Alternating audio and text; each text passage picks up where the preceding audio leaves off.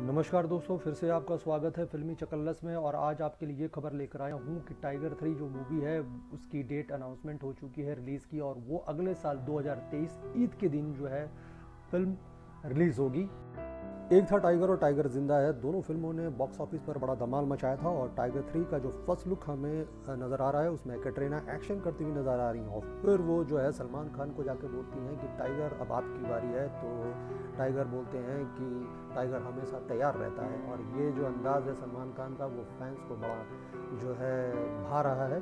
तो अब फैंस हमें इंतज़ार है टाइगर थ्री के ट्रेलर का और देखते हैं ट्रेलर कब यशराज बैनर्स जो है रिलीज़ करता है। तब तक के लिए नमस्कार, धन्यवाद सबक खैर।